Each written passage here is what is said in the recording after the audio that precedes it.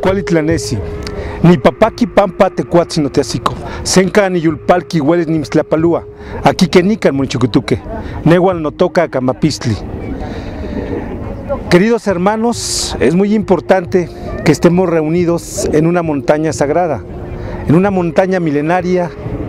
De acuerdo a la tradición, se habla de un origen, del origen de la humanidad. Precisamente en las etapas que hemos tenido en los cinco soles, en el Onihuaya, antes de toda era, este lugar, su primer nombre fue Atlán, y al final Citlaltepet, el Cerro de la Estrella.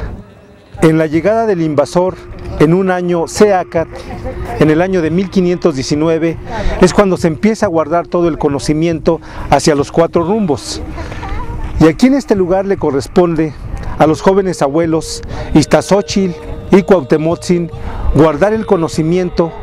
El europeo e invasor pensó que lo que había guardado Cuauhtemotzin y Iztazochil había sido oro, dinero, y lo que realmente se guardó fue el conocimiento. En nuestra tradición y cultura, Quetzalcóatl representa el conocimiento, la sabiduría. Ahorita se está hablando de un final del mundo, sin embargo, pues eh, hablando con los tatas mayas, con los abuelos, con la gente real y originaria, ellos pues hablan que dicen que se va a acabar, nosotros no hemos dicho nada. En principio, la gente que está hablando del final del mundo, ni maya habla. Es muy importante aclarar esto. Más bien eh, pasa un tiempo documentado de 26 mil años de cultura.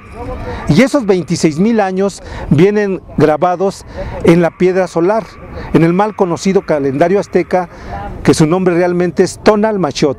Tonal es energía, Machot es huella, la huella que va dejando la energía a través del tiempo. Precisamente el 21 de diciembre del 2012 empieza un nuevo sol, empieza un nuevo tiempo. Y astronómicamente precisamente el sol nace en el mes de diciembre porque está lejos de la Tierra y en el mes de diciembre es cuando nos empieza a dar sus primeros rayos.